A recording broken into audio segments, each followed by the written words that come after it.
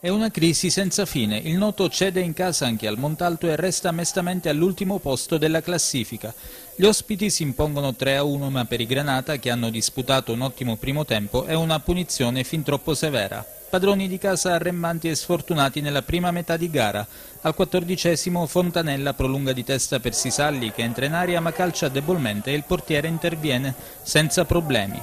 Un minuto più tardi il sinistro di Merito non va distante dall'incrocio dei pali. Al ventunesimo buona opportunità per i calabresi con questo destro di Zangaro che termina fuori di un soffio. Clamoroso al 35 il palo colpito dal Granata Sisalli con un tiro dal limite dell'aria. Mentre nel recupero della prima frazione Fornoni è decisivo sulla conclusione ravvicinata di Occhiuzzi al termine di un'azione convulsa. Nella ripresa il noto perde smalto e brillantezze, al sedicesimo paga a caro prezzo una distrazione difensiva. Il portiere Fornoni è costretto a commettere fallo da rigore su Piemontese e dagli 11 metri lo stesso attaccante ospite fa centro.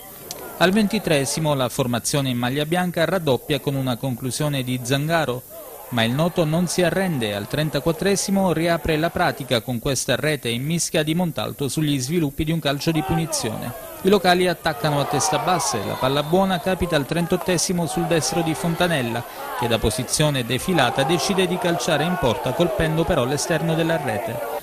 Dall'altra parte il Montalto non sbaglia e al 43esimo Zangaro, ancora lui, supera Fornoni con un tiro che si infila sotto la traversa. Per il noto è buio pesto, quinta sconfitta consecutiva. Il suo tecnico Giancarlo Betta, da quando siede sulla panchina granata, non ha ancora colto un punto.